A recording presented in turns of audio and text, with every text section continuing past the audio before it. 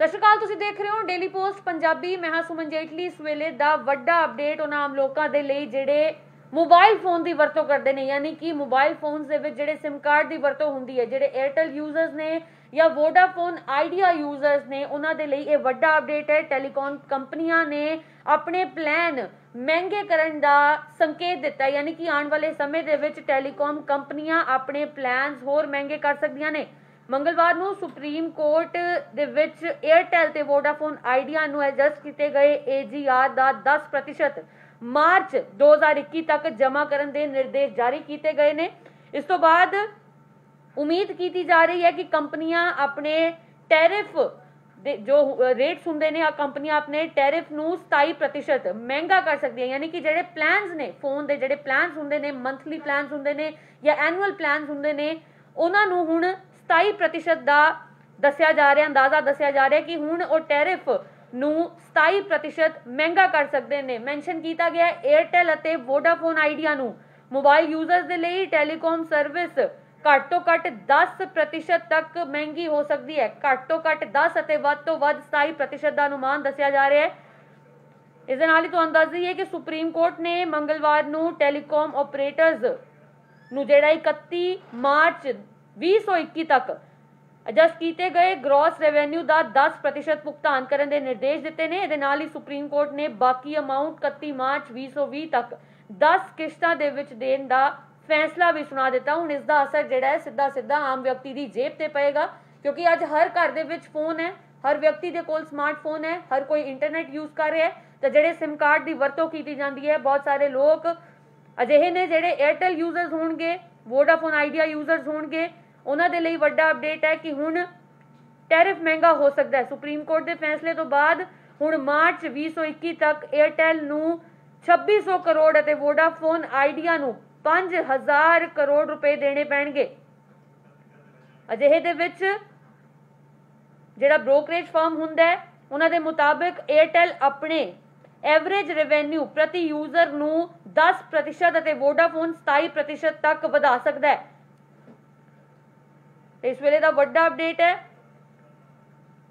ਕਿਉਂਕਿ ਜਿਹੜੇ ਯੂਜ਼ਰਸ ਨੇ 에ਅਰਟੈਲ ਤੇ ਵੋਡਾਫੋਨ ਯੂਜ਼ਰਸ ਨੇ, ਉਹਨਾਂ ਦੇ ਜਿਹੜੇ ਮੰਥਲੀ ਪਲਾਨਸ ਉਹਨਾਂ ਵੱਲੋਂ ਲਏ ਜਾਂਦੇ ਨੇ, ਚਾਹੇ ਉਹ ਪ੍ਰੀਪੇਡ ਹੈ, ਚਾਹੇ ਉਹ ਪੋਸਟਪੇਡ ਹੈ, ਉਸ ਮੰਥਲੀ ਪਲਾਨ ਦੇ ਵਿੱਚ ਹੁਣ ਵਾਧੇ ਦਾ ਅਨੁਮਾਨ ਦੱਸਿਆ ਜਾ ਰਿਹਾ ਹੈ।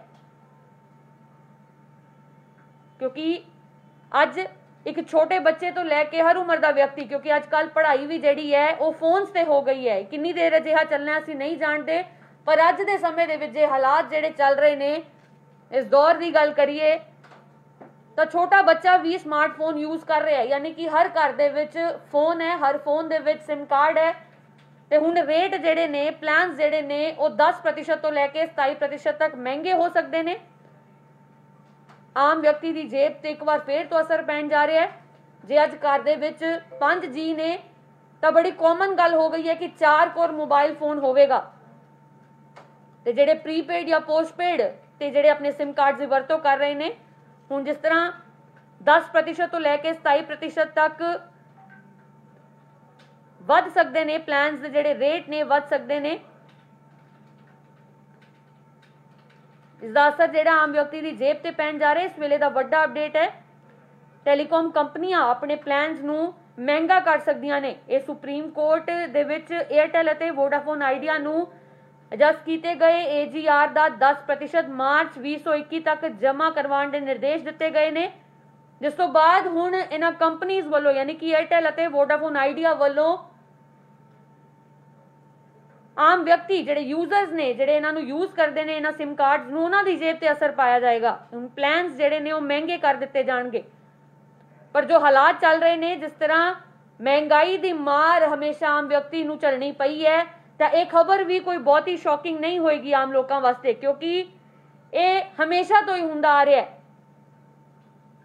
ਚਾਹੇ ਉਹ ਗਰੋਸਰੀ ਦੇ ਰੇਟ ਹੋਣ, ਚਾਹੇ ਉਹ ਸਬਜ਼ੀਆਂ ਦੇ ਰੇਟ ਹੋਣ, ਚਾਹੇ ਉਹ ਮੋਬਾਈਲ ਫੋਨਸ ਦੇ ਰੇਟ ਹੋਣ ਜਿਹੜੀ ਮਹਿੰਗਾਈ ਹੁੰਦੀ ਹੈ ਉਸ ਦਾ ਅਸਰ ਆਮ ਵਿਅਕਤੀ ਦੀ ਜੇਬ ਤੇ ਪੈਂਦਾ ਹੈ। ਉਸ ਤੋਂ ਬਾਅਦ ਆਮ ਵਿਅਕਤੀ ਉਮੀਦ ਛੱਡ ਦਿੰਦਾ ਹੈ ਕਿ ਲੋਕਾਂ ਦੇ, ਆਮ ਲੋਕਾਂ ਦੇ,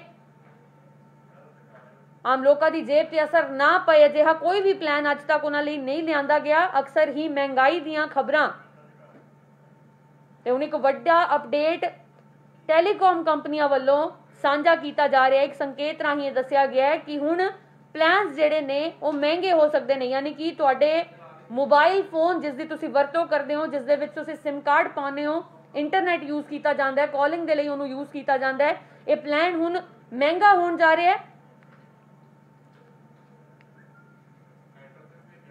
ਵੱਡਾ ਅਪਡੇਟ ਹੈ ਇਸ ਵੇਲੇ ਦਾ ਮੋਬਾਈਲ ਯੂਜ਼ਰਸ ਯਾਨੀ ਕਿ 에ਅਰਟੈਲ ਖਾਸ ਤੌਰ ਤੇ 에ਅਰਟੈਲ ਤੇ ਵੋਡਾਫੋਨ ਆਈਡੀਆ ਯੂਜ਼ਰਸ ਦੇ ਲਈ ਇਹ ਵੱਡਾ ਅਪਡੇਟ ਹੈ। ਕਿ ਹੁਣ ਇੱਕ ਵਾਰ ਫੇਰ ਤੋਂ ਤੁਹਾਡੀ ਜੇਬ ਤੇ ਅਸਰ ਪੈਣ ਜਾ ਰਿਹਾ ਹੈ। ਜਦੋਂ ਦਾ ਲੋਕਡਾਊਨ ਸ਼ੁਰੂ ਹੋਇਆ ਸੀ, ਉਸ ਤੋਂ ਬਾਅਦ ਜਿਹੜਾ ਅਪਡੇਟ ਆਇਆ ਕਿ ਜਿਹੜੇ ਰੇਟ ਨੇ ਮੋਬਾਈਲ ਦੇ, ਉਹ ਵੀ ਥੋੜੇ ਵੱਧ ਗਏ ਸਨ।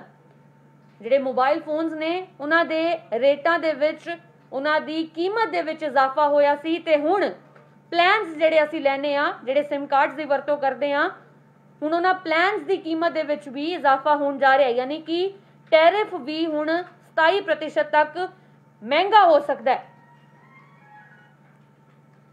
ਵਧੇਰੇ ਅਪਡੇਟਸ ਲੈ ਕੇ ਜਲਦੀ ਹਾਜ਼ਰ ਹੋਵਾਂਗੇ। ਮੈਨੂੰ ਦਿਓ ਇਜਾਜ਼ਤ। ਧੰਨਵਾਦ।